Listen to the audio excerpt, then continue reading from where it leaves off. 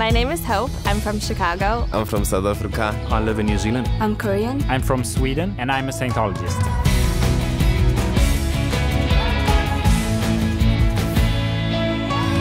Scientology gave me all the answers I was looking for. Life isn't overwhelming anymore.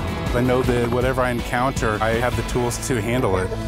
Don't miss the new season of I Am a Scientologist on Scientology Network.